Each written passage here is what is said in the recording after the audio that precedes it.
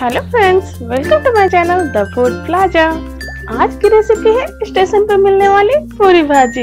इसके लिए मैंने यहाँ आलू को टमाटो को अच्छे से कट करके वॉश करके ले लिया दो तीन सूखी लाल मिर्च, कसूरी मेथी, लाल मिर्च पाउडर, हल्दी powder panch phoron salt as per taste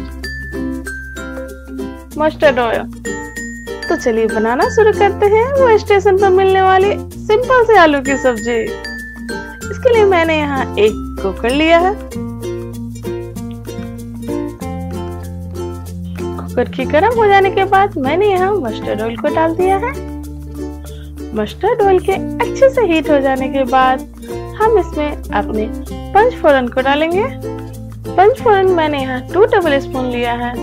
पंचफोरन की क्वांटिटी थोड़ी ज़्यादा ही रखें अब मैंने इसमें रेड चिली डाल दी है। हम इसे हल्का क्रेकल होने देंगे। ध्यान रखिए, जले नहीं। अब इसमें अपने कटे हुए आलू को डाल देंगे। आलू को अच्छे से मिला देने के बाद अब हम इसमें हल्दी पाउडर डालेंगे। इस सब्ज़ी की सबसे बड़ी खासियत है कि ये बहुत ही क्विक बन जाती है। और बिना लहसुन प्याज के खाने में ये उतनी ही टेस्टी लगती है। और जो भी मसाले, तेल को अवॉइड करते हैं, वो भी इसे बहुत ही आराम से खा सकते हैं। क्योंकि मसालों में इसमें सिर्फ़ हल्दी पाउडर और मिर्चा पाउडर का ही यूज़ हुआ है। अब टमाटो को डाल देंगे। मैंने यहाँ आलू को कोई डीप फ्राई नहीं किया है, बस दो मिनट तक उसे हल्दी के साथ फ्राई किया है, ताकि उसमें हल्दी का कच्चापन टेस्ट चला जाए। अब इसमें नमक अपने टेस्ट के अनुसार और रेड चिली पाउडर अपने टेस्ट के अकॉर्डिंग आप डाल लें अब टमाटो को अच्छे तरीके से पकने के लिए हम इसे कवर कर देंगे।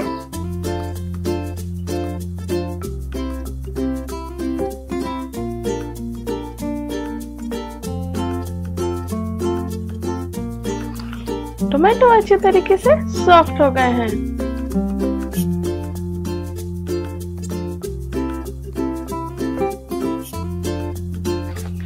बहुत ही अच्छे तरीके से सॉफ्ट हो गए हैं। अब मैंने यहाँ इसमें कसूरी मेथी को डाला है। इस सब्ज़ी में कसूरी मेथी और पंचफोरन का बहुत ही बड़ा रोल है। इसलिए कोशिश करें कि आप कसूरी मेथी को स्किप ना करें।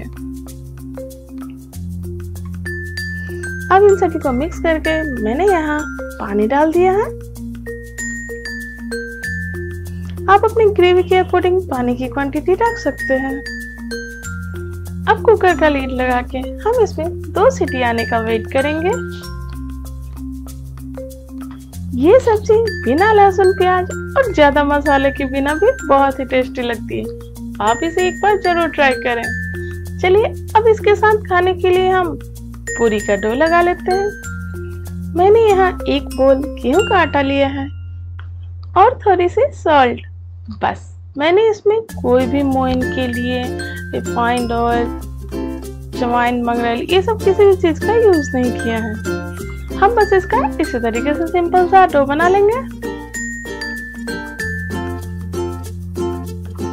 हमारा डो बन के तैयार है। चलिए कुकर को चेक कर लेते हैं। सब्ज़ी तो बन गई है। अब आप सोच रहे होंगे कि इतनी पानी की तरह सब्ज़ी को हम कैसे खाएँगे? तो चलिए, उसके लिए भी कुछ करते हैं। मैंने यहाँ मैसर के हेल्प से अपने आधे आलू को मैश कर दिया है, जिससे इसकी ग्रेवी थिक हो जाएगी। तो लीजिए ये क्विक एंड स्टेशन साइड वाली आलू की सब्ज़ी बन के तैयार है। चलिए, अब पूरी फ्राई कर लेते हैं। मैंने यहाँ ऑयल को गर्म होने के लिए रख दिया है।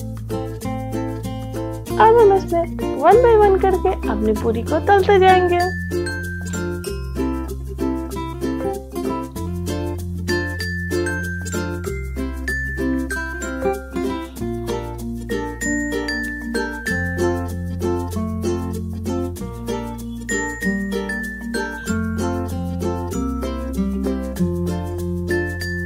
तो देखा आपने, हमने यहाँ सब्ज़ी में भी बहुत ही कम ऑयल और बहुत ही कम मसालों का यूज़ करके बनाया है और पूरी की डो में भी बिल्कुल ऑयल का यूज़ नहीं किया है। तो अगर आपको कोई भी ऑयल रिलेटेड हेल्थ इश्यू है तो भी आप यहाँ दो तीन पूरी तो खा ही सकते हैं।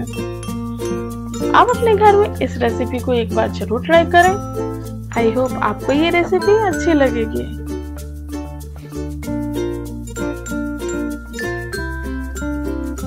मैंने यहाँ वन बाय वन करके पूरी को तल लिया है।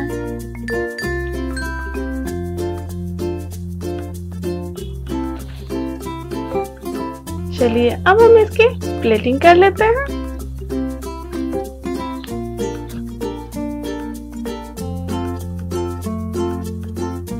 इस सब्ज़ी पूरी को आप गर्मा गर्म ही सर्व करें, क्योंकि ये गर्म खाने का अलग ही टेस्ट है।